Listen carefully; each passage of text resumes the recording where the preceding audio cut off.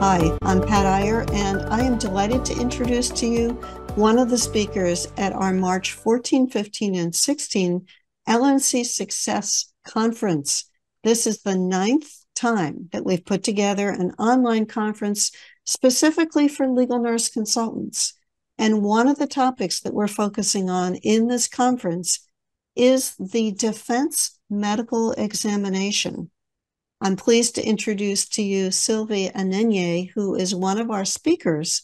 Silvia, I know that our listeners and viewers are going to be interested in knowing what you're planning to cover in your session at the conference.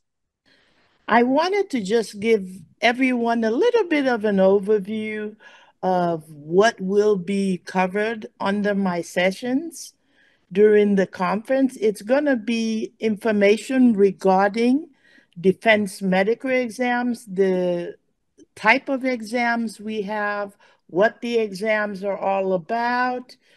We are also going to be covering, which I think is very much needed in the society today and the area of defense medical exam, which are the laws that are governing the separate states. We'll be covering also during this session a most interesting session that I think will be very important to a lot of LNCs that decide to attend the conference, which will be the unethical behavior. Uh, you know, the unethical behavior of most of the doctors and also attorneys. But in order to be able to know any specifics on these areas, you would have to actually attend the conference.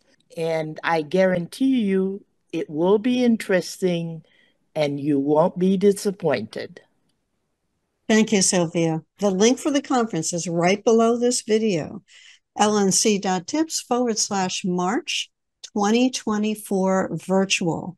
Get your seat and your ticket now. It is a session for Silvia that's going to open your eyes in terms of some of the nuances of defense medical examinations and the roles of LNCs in observing those exams.